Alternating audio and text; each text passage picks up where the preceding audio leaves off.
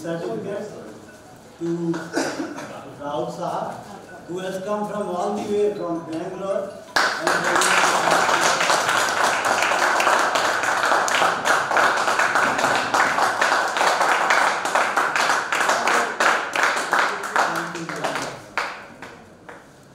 So, with the permission of the principal, I close the session now. Thank you very much, and thank you all. Can you hear me?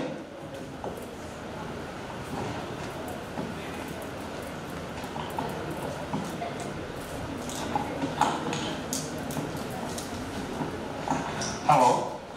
Hello? Okay, I'll just... So, good afternoon, everybody. Nice time, time to come front. It's going to be very interesting, I challenge you. After 45 minutes, you will feel that you learned a lot. Okay, and I'm talking about all the modern terms in the medical diagnostic. So it's going to help you a lot.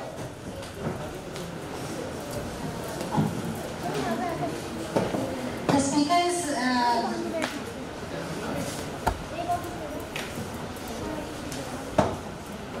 Yeah, it, it, it helps me to understand whether you guys are getting it or not. taking guarantee that you won't feel sleepy. You better be attentive. You will automatically. Otherwise, you will automatically be attentive. It's taking guarantee. Yeah, so sorry about uh, aesthetic issues guys. So as madam said, I'm Rahul Srivastav. I'm, uh, I'm not a doctor by the way. I'm a software engineer. So my designation is head of software architecture and security. Um, I work for SAP Labs, right? And I'm going to have a very interesting topic and I'm, I'm telling you it's not going to be boring, right? It is day-to-day -day things that you guys do every day and you are going to have fun. So, my topic was uh, role of artificial intelligence in biomedical diagnostic. And uh, when I'll just give you, I, I worked in Bangalore and yesterday I was coming from Bangalore to Lucknow. I had a flight to catch. And roughly from my home to airport, it takes usually 45 minutes. Yesterday, I got a message from Google that your flight is so and so time, but you start at this time. So which is like a four hours before. And I was surprised, like, I mean, I'm, I'm a very frequent traveler, I travel to, you know, national, international, quite often. And I was surprised, how come? Why I need to start two hours before, right? So then I checked the Google map, and it was showing a congestion. Congestions on the road, there was an accident happened, and because of that, there was a delay, right? And Google, it figured out from my booking that I have a flight to catch. Then it figured out like how much time it is going to take from my home to airport. It knows where is my home. And it is telling you, you better start. So I did a good thing. I immediately looked at the Google map and then I booked the cab to catch the flight in the airport, right? So this is every day we are, we are doing this, right? Without knowing that we are using so much of artificial intelligence, right? So, so that's that's one thing, right? If you if you see my first slide, what it says that robots may take over. Robots may take over most human jobs by 2045, right? And this is going to happen, right? Because whatever we do today as a human, a robot is come and going to replace, right? And it will have all capabilities to perform the act that a human can basically essentially do, right? So we are entering into that era. And particularly today because I am talking in a medical college, I want to keep my presentation very focused onto the onto the medical diagnosis side. So if you see, today what I will be covering, I will be covering primarily, first thing is about the artificial intelligence. The second thing is how artificial intelligence can detect certain disease symptoms and its treatment artificially. The second thing is the diagnosis, how it helps you in the diagnosis. Third thing is about disease progression and fourth thing is about drug discovery, right?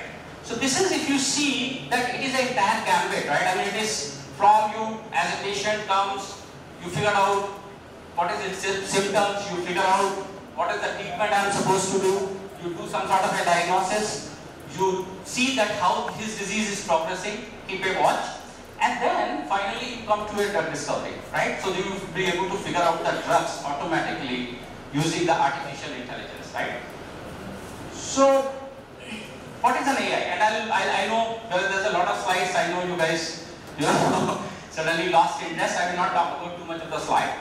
But you understand how an AI works just for your information. Basically, AI is, you would have used Alexa for example. There are a lot of you know, automated cars nowadays, right? So this is all known as art- part of artificial intelligence. And internally what happens within an artificial intelligence, it has two major parts. One is known as a machine learning and within that there is a called something deep learning. So, so, so essentially machine learning if you see, it is about learning. For example, how did I know that from my home to airport takes 45 minutes? Simple, because I have traveled, that learning has gone into my brain and I know today that it takes 45 minutes. So I have learned over the period of time. Similarly, when there is a machine and you want to make machine learn, like a Google did for me, it did automatically calculate it, the time, right? So this is known as a machine learning, right? I am making machine to learn. And then machine learning has further progressed something called as a deep learning, right? So deep learning is where we are mimicking your brain. So for example, your brain have neurons. Similarly, we have artificial neurons. So we try to mimic the brain through the artificial neural network. We'll talk about it. But before I move into jumping, lot of this, you guys are young, I think MBBS first year, second year, you would have done uh, Boyle's experiment, right? Where at a constant pressure, uh, constant temperature, pressure is inverse, inversely proportional to volume, right? I'm now also trying to figure out, right? Something like this, right? Imagine when Boyle was, we didn't know anything about Boyle's law, right? We don't know anything about Boyle's law. But what if I had a reading of pressure and volume, right? So if I have a reading of pressure and volume, and I keep plotting them into a simple XY, you guys would have used it, right? A simple plot that at this pressure, this is the volume, this pressure, and this is the volume. Simple? Now, if I have a good amount of data, next time I get, let's say, pressure at 13, can I fit that into this particular graph? And can I predict what is going to be the volume? Isn't it? Simple, right? I am plotting a graph. I have learned this knowledge that normally at this pressure, this is going to be volume. At this pressure, this is going to be volume. And I can fit that into my graph. So even though I did not know what is the 13, I can go into the graph and plot it. And then say this is my volume. Even without knowing that pressure is an inversely proportional to volume, I don't know. Right? But what I'm doing is I'm just simply looking at the data. From the data, I'm trying to figure out. For example, if you guys are in the first semester, uh, I'm an engineering, so I had a semester, I think you guys also have the same. If I am scoring well in semester, and I'm studying at a 8 hours, 9 hours a day, I should be able to predict that I will be doing fairly good in annual, right? No rocket science, correct? So, this is what is doing that we, without looking at any principles, we try to fit the data, we try to analyze the data that where this point is going, right? Similarly, you see that this um,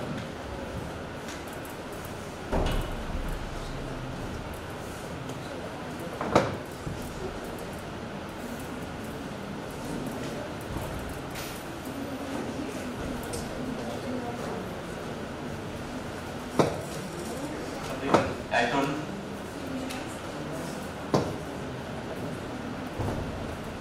No, that's not from my side actually. Anyway, so the other one, what I was trying to do, the the next one, I was trying to predict whether a particular drug will cross a brain barrier or not. I mean, I think I'm sure you guys know much more than me, right? What is a brain barrier? So there are certain molecules which can cross to the brain barriers. And when you are doing a new drug development, right, you try to see whether that drug can pass to the brain barrier or not, right? So that is based on a permeability factor. So what we do normally, we just simply convert any molecule. So let's say this was a molecule, we convert it into a sort of a chemical formula for this. And then we also calculate its uh, affinity, probability, and then based on that we simply predict whether this is going to cross the brain barrier or not. Very simple sense, right?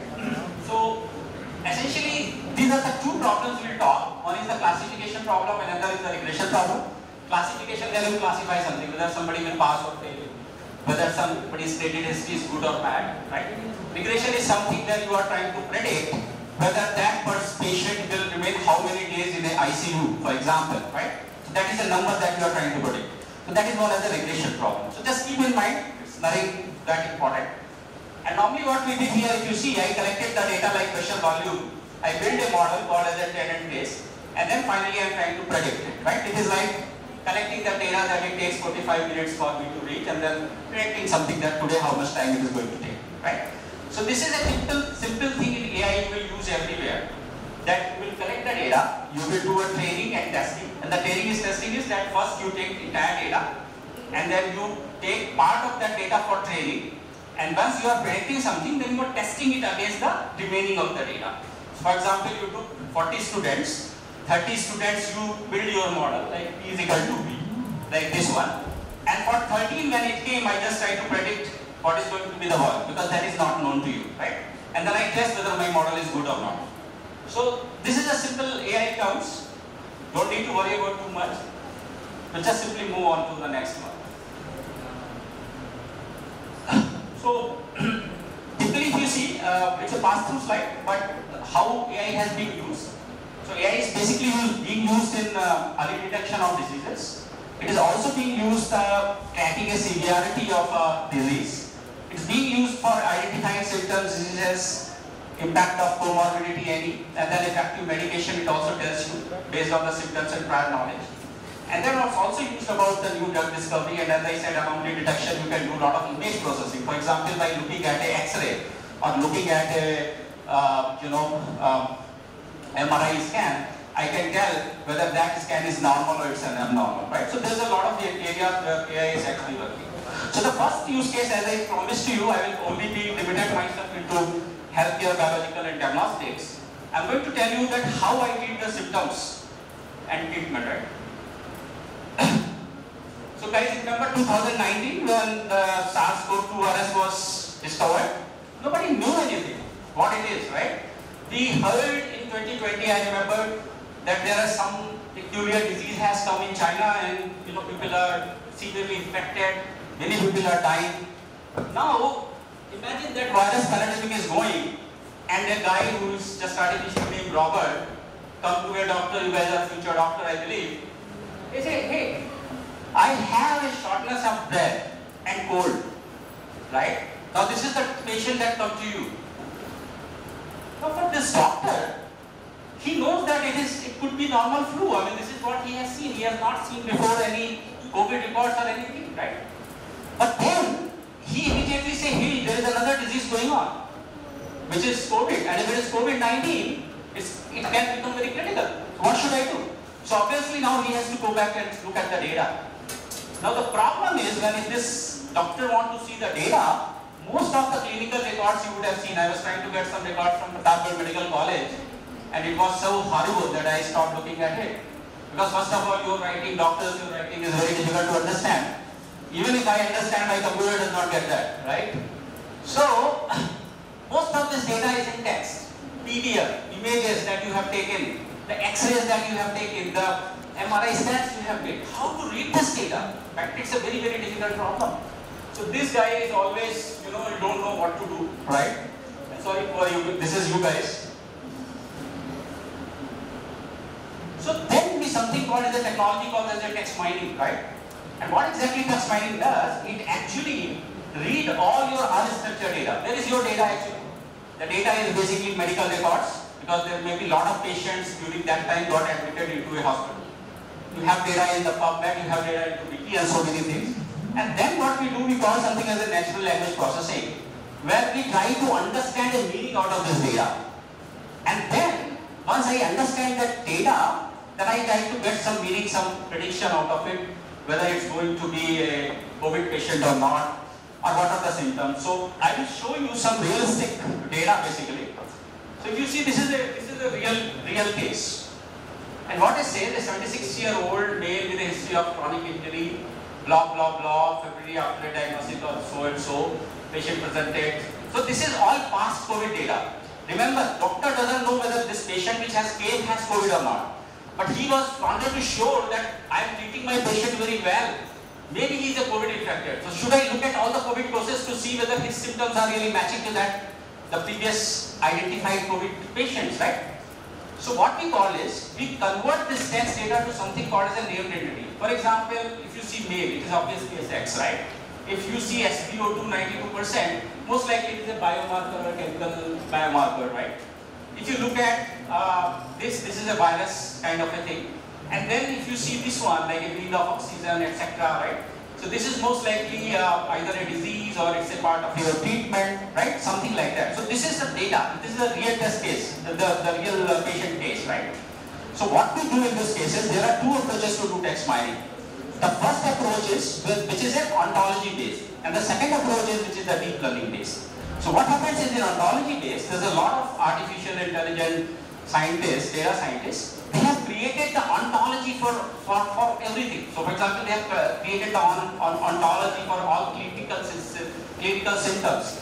They have created an ontology. Ontology is nothing but a dictionary, right? So somebody over the period of time through the crowdsourcing, they have collected that words and then they created something called ontology. And this ontology is available everywhere. So you can just simply go onto the internet and I have put some slides. Here if you look at um, the bioportal.bioontology.org, if you search this website, you will see a lot of ontologies are also there. So now what I am going to do, I am going to apply this ontology onto my text data to try to get what are the these terms, right? So this is one way of doing it. The second way of doing is via the deep learning based model. So what happens in this particular model? There are experts, data scientists, doctors, researchers who have marked previous cases as okay, this is a disease, this is a treatment, this is a diagnosis, right? So they have marked those words. And based on all previous cases, now your machine learning try to understand if a new case comes, whether it's a disease, whether it's a symptoms, even if those symptoms were not earlier identified by parsing general grammar, because you know that verb comes before noun, for example, or after noun, right? So based on that part of speech, it tries to extend that it could be a symptom. It tries to predict that this could be a symptom, though that symptom is not known before, right? So today what I'm going to show you, I'm just simply going to show you an ontology based, that where the, you will have created already an ontology. And if you see this, how does it work? I have taken a 30 medical cases for the COVID patients. I extracted the data I'm now going to apply ontology on that. There's something called as a term frequency. So basically once you categorize your text, you try to count those words, like how many those words are and which those of those words are very important, right? And then you show it in a, some interesting way. I'm, I'm going to show you in a word cloud. If I show you what kind of test case, what kind of uh, data I had was,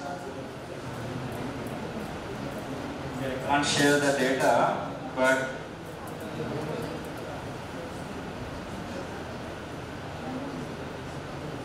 so now you see I run that text mining. So the first thing is where I was just trying to look what are the symptoms, right? And this, this I have run the text mining on the 30 test cases or the 30 patient cases.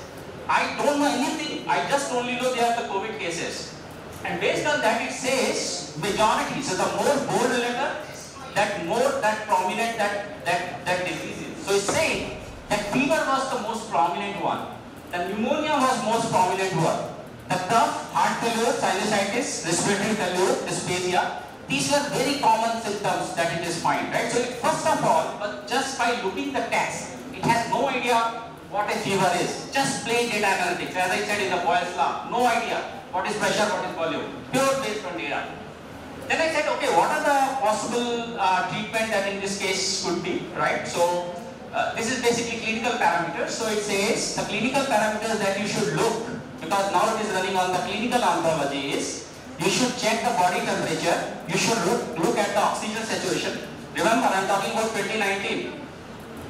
Many of you got SpO2 machine much later.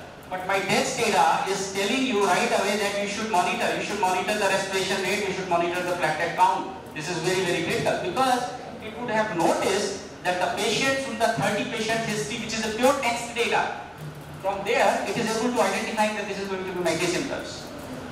Then if you look at it, what are the comorbidities, comorbidities with that, right? And then you will see also hypertension, influenza, diarrhea, syndrome, cancer. These kind of patients become severely ill when, when you know the COVID impacted them, right? And this is uh, another, like if you see the treatment, so what are the treatment they have been giving?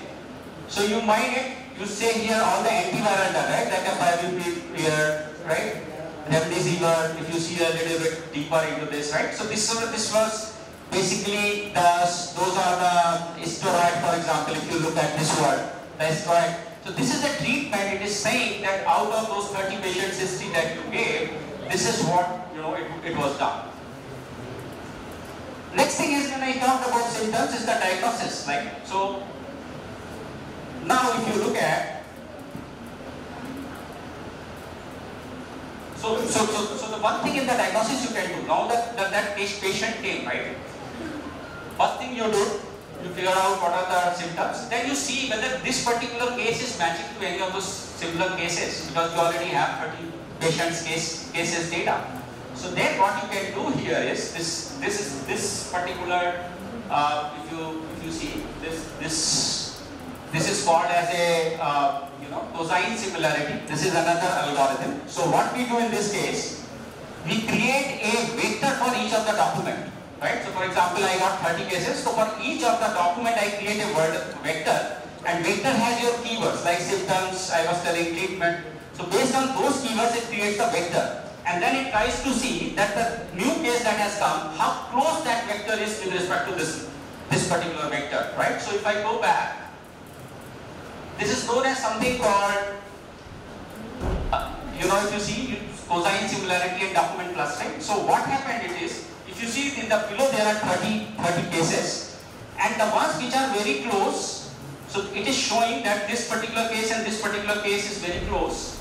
But if you see there is a red mark, I, I, I sure you cannot understand, but this is a cancer case that I put it into the, my data set. So rest remaining are all the COVID cases. There also it is saying that this two case, this two case, this two case are very close. This case is also very close. But this close, this case you see the distance, right? So the more distance it means it is not at all close.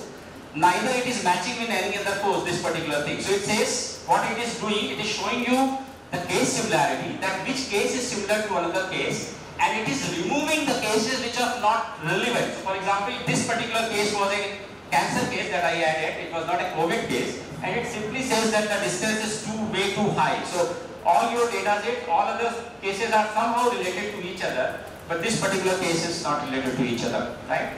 So that way you can figure out if you don't know and you are just a doctor, you don't know it's a new disease, you simply run the artificial intelligence and then you are figuring out that whether this particular patient's case is really matching to the diagnosis I am making, right? And the diagnosis in this case, he was first thinking flu, but then now he's like also making sure that the patient does not got a COVID-19, right? So the next thing is about the disease progression, right? So now what? Let's say the COVID test done, the person was found, find to be uh, COVID positive, right? So now the most important factor for us, and particularly as a biochemist, biochemist of my uh, conference, that there are a couple of things. One thing is that how to know whether this patient is very serious, number one, right? I mean, of course you are looking at different parameters, but how to know whether this patient is really serious? What are those chemical parameters? because of which impacting the illness severity, right? So that is very important, right? The second thing is, as a doctor, if the patient is very critical, you need to know whether that patient will survive or not, right? So you are also trying to predict that what is the possibility of that patient surviving, right? So that is the second prediction that you want to do. The third thing is that if that severity is, the illness or disease is progressing, how much time I have to react to because you want to try different drugs I saw, right? You want to try remdesivir, you want to try any other drug, right? So, but you need to know that how much time I have, how much time this patient is going to survive basically, right? If, so, if I have to do any experiment, I do it before that. So, that is where the comes the disease progression I have said. And I will just show you in this particular example, if you see, the John got admitted in the ICU, and again this is for you, many of you, that's going to be. Now this doctor does not know how critical my patient is because it's a new disease, right? He doesn't know much. I can order the clinical test, but which one? Should I go order all the 10,000 biochemical tests which is available today? How I correlate severity with the clinical parameters? I don't know. Even if I get the test, how does it predict that the disease is really severe, right? What is the life expect expectancy, right? How much time I have to treat and wait, right? So again, he has to go back and his situation is like this again, that he want to ask all these questions which he does not have any answer. So essentially if you see, there is something called electronic health records. It can be used. Normally if you go into the modern you know, hospitals, they are maintaining uh, the data. They are maintaining the data of the patient, their the, the chemical tests that have been performed, the clinical tests that have been performed. So let me look at some of the data, how the data look like. Right? But before that, just a very simple example to explain that what I am going to use here. I am going to use here is called a decision tree, right? So the way I was just explaining you that if I know that how many hours you are reading every day and how much you scored in your midterm, I can predict it that how much you are going to score in the final. Right? This, I, I create some sort of a tree which is called as a yes, no, yes, no, yes, no. And uh, based on that you can do prediction. So this is something called as a decision tree. This is the algorithm I am going to use to do this kind of a prediction. By the way, decision tree you can also apply in your day-to-day -day life. Many of the girls you will get a lot of proposals from boys and you can figure out which is the best boy for you based on the parameters, right? So you can predict that. So very similar to that, right?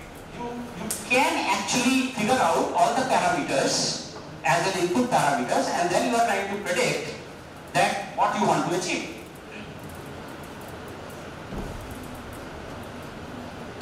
So basically in the decision based tree there are two algorithms. One I am going to use called as a random forest. Another I am going to use as a gradient boost predictor. Right? So these are the two algorithms. And what happens in, in the random forest, it is again a tree-based algorithm, but we choose multiple trees here.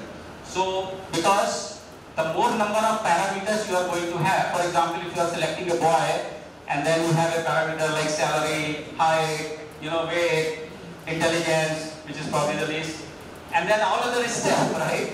So you may have hundreds of such parameters. So you might have to end up creating a lot of decision trees, right?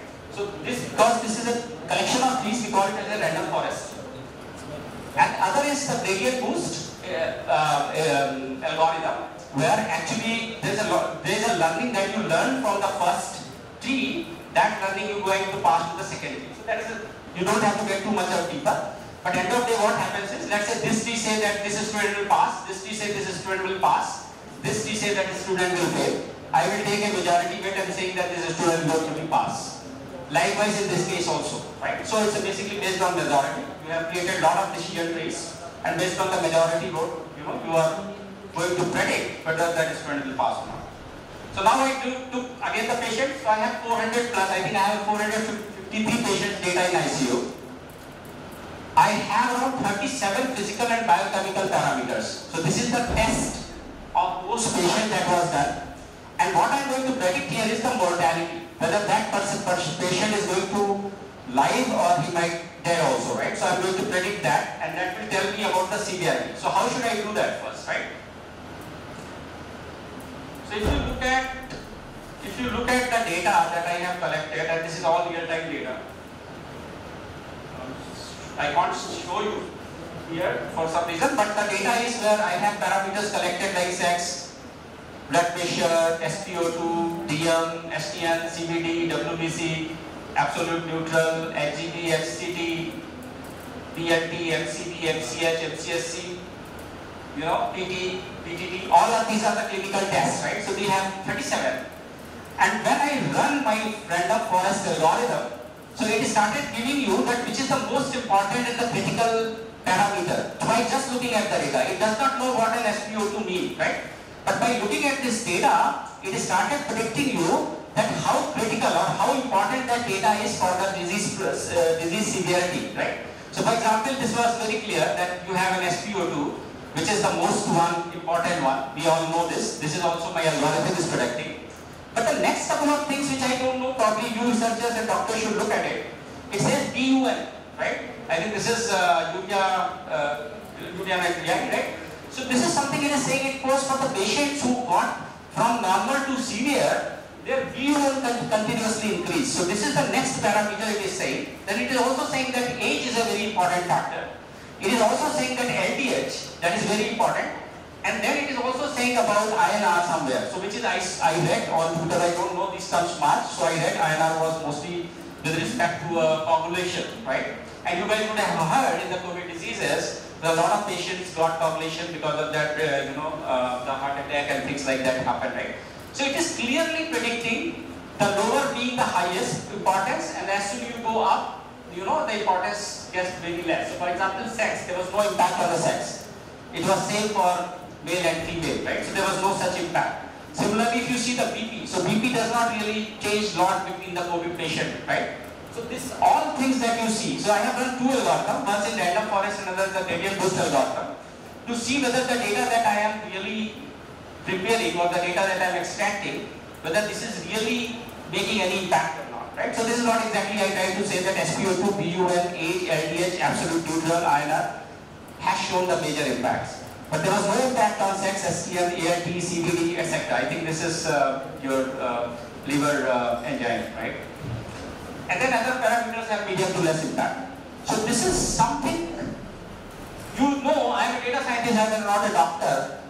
And what I'm trying to do, I'm just simply running these algorithms, which is a random forest and the gradient boost algorithm. And based on that, I'm telling you that how severe this, your conditions is going to be, right? The guys who have uh, maximum casualties, they saw, you know, these parameters significantly impacted, right?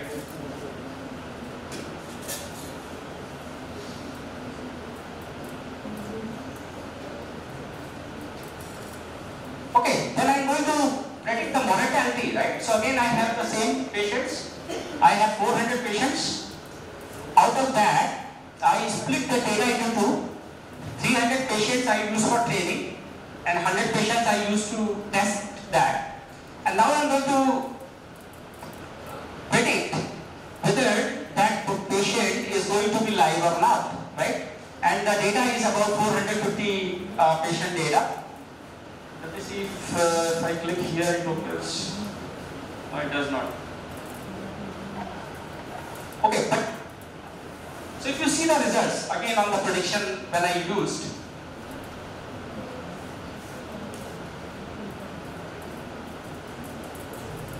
So what it is saying? So this is actual and this is so, okay sorry this this is actual and then this is predicted right? So this is actual. Zero means uh, dead, means live right? So you see the data. So what data is saying? It is telling you how many times it is corrected correctly. So zero is corrected correct at 32 times means 32 times that patient actually they be predicted and algorithm that patient will die and he actually died right? So that's mean we correctly classified around 110 times and 38 times we classified it not so correct. So that's mean 148 total cases. Out of 148, 110 times I was correct when I predicted about that patient, whether that patient is going to be alive or the patient is going to be died. We were not correct in 38 times. That means our accuracy was around 75% accuracy by which I was able to predict whether that patient is going to survive or not, right? So this is what we used uh, as part of, uh, you know, the machine learning algorithm. And I explained you earlier, if you recall, whether it's a classification problem or it's a regression problem. I'm saying whether the patient will die or patient will live, right? Is it classification problem or is it a regression problem? If you remember, recall. So it's a classification problem, it's a class die or live, good or bad, fail or pass, right? So, so this is basically I'm trying to classify that particular problem, whether that patient is going to live or die, or he's going to be discharged or he's going to be deceased, right? So I was able to figure out 75% I was very accurate by running on that just the data, right? And this is all on the real COVID patients. This is all original work, right? It's not taken on the uh, uh, from some other study, right? So this is a, our uh, you algorithm that we have run. The the next is uh, how many days that patient is going to spend in the ICU. Again, the same data set I have. And then I'm going to apply again the same algorithm that you see, the random forest and XGP model. So this is a model detail. I'm sure you guys are not that much interested. But yeah, if somebody is interested, you can talk me offline. I will tell you that how actually I have created this model internally. You don't have to worry too much. So this is now my prediction shows. So the so the green ones that you see, that is the actually actual value, and the and the and the orange one, it is a predicted one, right? So many times you see we are right, where you see the greener and red is in a in a very good uh, alignment. That's mean you are right. But very many times we are not so good. You see here you are seeing actual value this, but predicted is down, right? So he is saying that patient will actually live longer than what we predicted. Similarly here patient live longer than what we predicted. But many times it is trying to capture the flow. So if you see both graphs are looking okay going hand in hand. But that's mean the model is not fitting very well because of the root mean square error that we are getting. So this is root mean square error is basically the predicted minus actual square.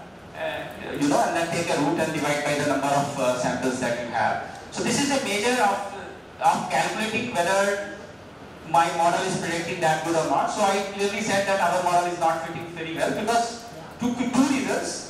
One is that the data itself was not sufficient. So normally in order to really generalize this 400 patient data is very less. You should have at least 5000 patients data so that you can do a regression problem where you are going to predict a number. This is a regression problem because I'm going to tell you that how many days it is not good, bad or did die. I'm saying going to, I'm telling how many days this patient is going to, uh, you know, stay or live in the in the ICU, right? So many times, you know, you need to have a good amount of data. And uh, I didn't get a good results here because you see there are some gaps here if you see, right? So this is a gap. Actually, both the graphs should have gone hand in hand, right? So together if they would have drawn the actual and predicted, then you would have seen a good result. And then the next approach that we applied was basically we got it as a deep learning model. So, so if you remember uh, how a neuron, a brain neuron works, right? So you have dendrites. So basically dendrites are like inputs. You give lot of electrical parameters to it. And then finally an exon exhibit, you know, exhibit from here. And then exon goes to another, you know, exon and another dendrite, you know, uh, the dendrites, right? And then it forms a network. Right? This is how typically your brain works, right? I'm not an expert, so can't tell you much there. I think you guys know. But similarly, we also have an artificial neurons. So uh, for us, your dendrites is nothing but the input. And the output is the actual electrical signal which has been passed.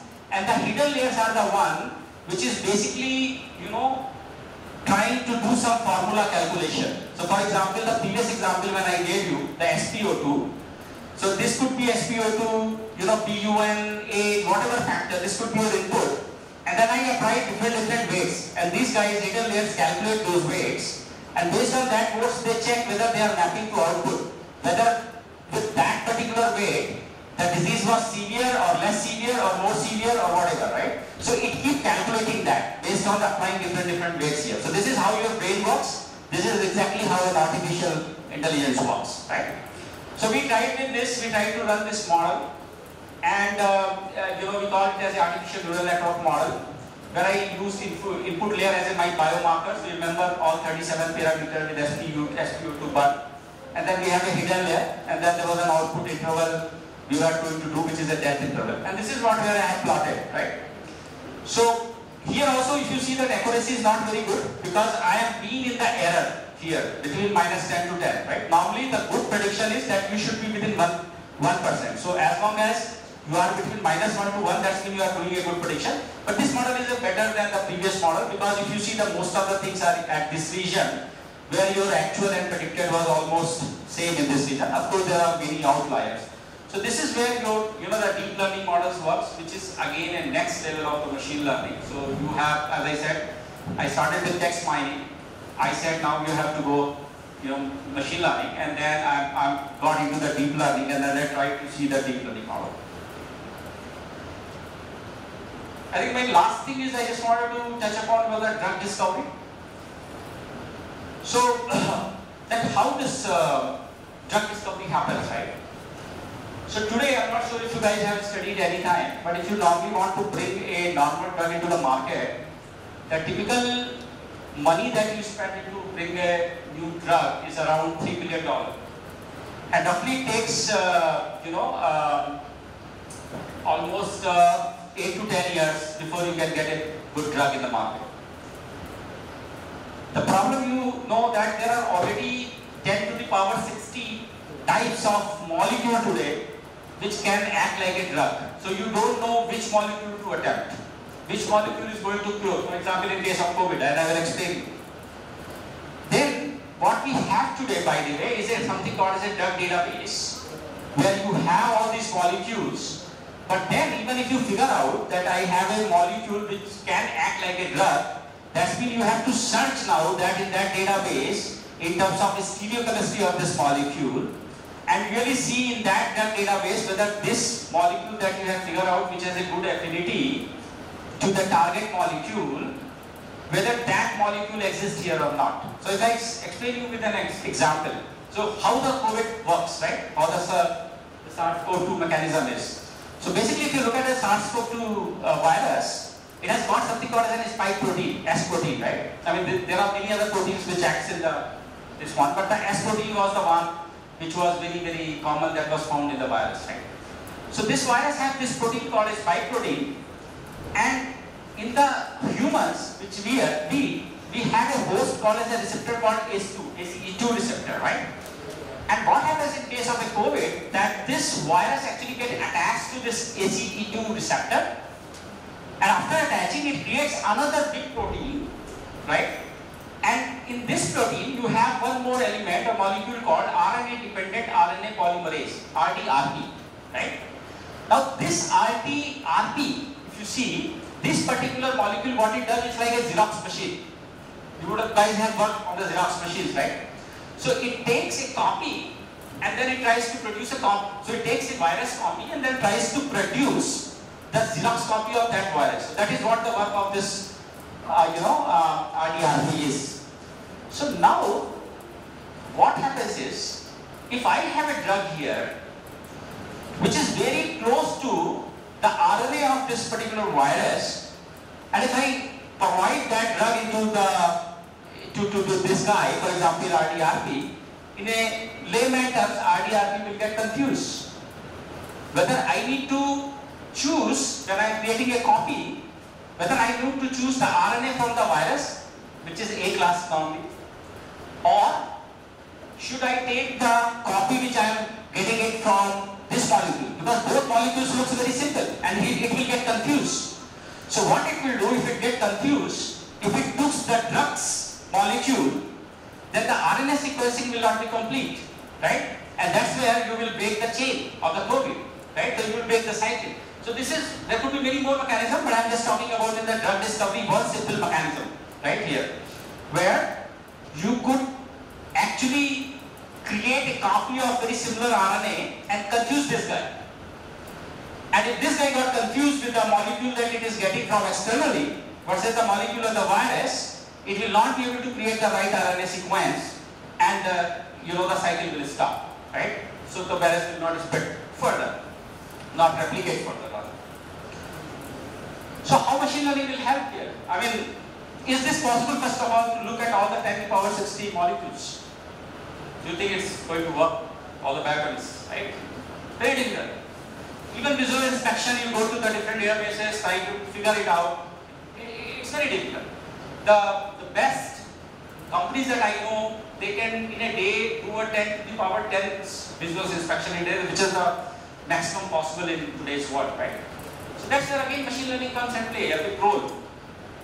And the artificial intelligence, when I say machine learning, artificial intelligence, I said you have an artificial intelligence which has machine learning and which has a deep learning in common, right? So AI is a combination of these two. So how we do a new drug discovery? So the good thing is that we have, there are a lot of uh, material available. We have something called UniProt database. The UniProt database URL is here.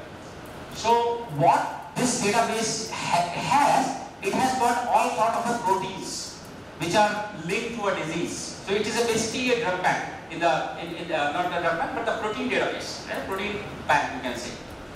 And based on a lot of PubMed, lot of journals that is available, there is already some work done here. If you look, click on this particular link, which is very specifically to Uniprot, Uniprot for the COVID-19 virus.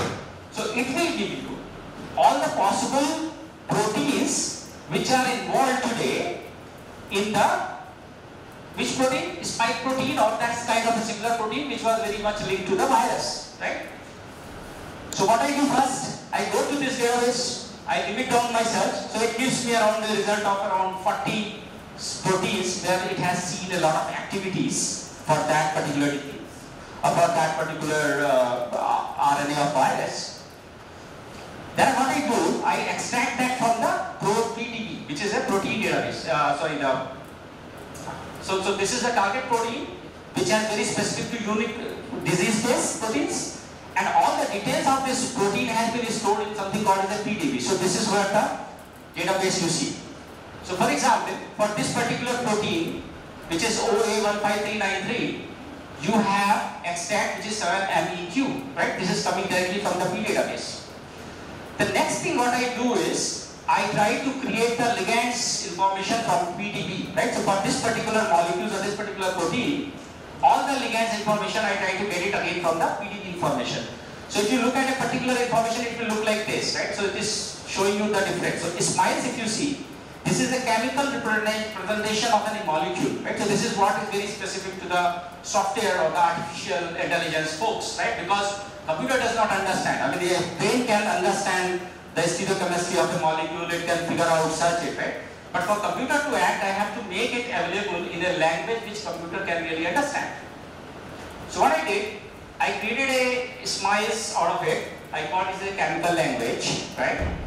And of course, it also calculates some more formula which I will use in my artificial intelligence called as a InChai. Then next is that I convert this molecule, this, you know, the smile into a uh, actual molecules. So now you see the same molecules I have got converted them into, into the molecules. Like this, it is showing it, right? So this is where we use a machine learning kit, uh, you know, a kit called as an RD kit. And that RD kit is responsible for converting any smiles into a molecules that can be understand. The next thing is how to interpret this particular molecule. So there is something called Markov scaffold. There could be many ways of doing it. So Markov scaffold, what it does, basically it breaks this particular molecules into the aromatic rings, into the non-aromatic rings. Yeah, right? And all, all the edges, right? How many times I? Two minutes? I'm just finished. Last. Yeah, two minutes. So I just break this, right? This molecule into aromatic rings, non-aromatic rings, and different things, right? So basis on that, what I do is now I'm going to create a cluster out of it. The same cluster where I'm trying to look at in the database and then figure out where this structure exists in the database automatically, right? And once I figure out that which is my common service structure which is available, I simply find a search into a drug bank, for example. So in this case, I have used a drug bank called go.drugbank.com. This is a free. So once this service structure, once you have normalized this molecule and you created a service structure, then you can actually figure out the service structure. Now you can actually go and by machine learning, you can search into uh, this particular databases. So this is the way where you actually able to create a new molecule or drug. By the way, remdesivir uh, discovery was done by this process, right? So this was one of the process that was used for the remdesivir discovery, right? So I think, yeah, I mean, with this, I'm pretty much done. I think I'm almost over time, but uh, are there any questions? The session is now open for questions. Anybody found interesting? Or not so interesting? Yeah? So the question is, in the last slide when you were talking about drug discovery, you said in the uh, clustering part, your whole uh, network was based on getting the information from protein data, like that is PDB. Yeah. But there are proteins whose structures are not available. Yes, I agree. No, very good question. So there are more databases. So normally I just, for simplify, I just show you the PDB, right? But the biggest database is Campbell database, CHEMBL. But Campbell is for ligand. Ha. So- So, so there are more. So you can still go ahead and figure out uh, at least four more databases are there where you can go and then I'll, I'll give you the, the names of those databases. So you are right, this one database is not enough, but there are multiple such databases where you can get the ligand information as well as you can get the protein databases information. Right? So this all you can get it into and I have those names. with me. Okay, sir. And, but, you're talking about PDB separately and chemical separately. Because PDB is for target identification. And if I'm right, it is for protein structures. Yeah. And is for chemicals. Ligands. For ligands. Yeah. So we need both. We need both. Yeah. Get a drug, Yeah. we need both. So if you see here, PDB alone, sir, I believe is the only. Yeah, exactly. You are not, right? So if you see here, is other data sources. So what does it mean is this is just one way of doing things, but you have to you have to attach other data sources also to extract your ligand information. Yeah, and then the, for example, ChemDB will give you the activities, right? Activities of that molecule. So what you will have to do, you will have to attach all those databases, and there are four such databases which I have that you have to actually integrate it here, right, to get that information. Because you will not have all the protein information in one, one place. Yeah. Oh, right, good question.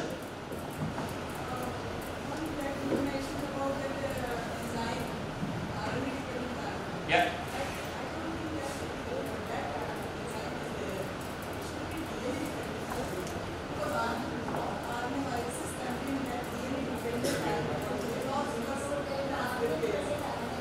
Yeah. Yeah, yeah, yeah. But, uh, no, no. But okay, maybe, yeah, I'm not that expert. But the study that I did, it says RDRP. It's a very common uh, uh, terms, right? So because virus has RNA, right, basically. So it is trying to create a copy of the RNA, basically, right?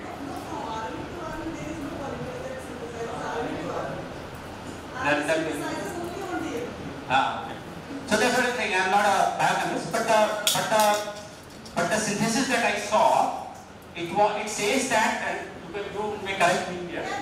That yeah, yeah, yeah exactly. Yeah. Thank you, Mr. Ram Shivas, for very thought-provoking and uh, into-the-times uh, talk. And I think it was uh, talk which would generate curiosity in MBBS students because this was way ahead of MBBS. This is what is being taught in uh, uh, MBA and PhDs. This is for research for people. So I think it was way ahead, but um, that proves curiosity in uh, MBBS students to learn more and become better doctors. I think I uh, I will share some URLs. You asked, right? I mean, you guys can actually. I mean, this is all available on internet, right? So, Kemba database, you can figure out how it works. You know, uh, COVID mechanism, you can figure out how it works, right? So everything is available. I think while you are studying uh, MBBS from first to fourth year, very important to keep looking what is happening in the artificial intelligence space, right? So just, you know, because as you say, I'm an engineer, I'm talking about these things, right? But, uh, you know, you guys can be, can do wonders here in this area, right? So, all the best.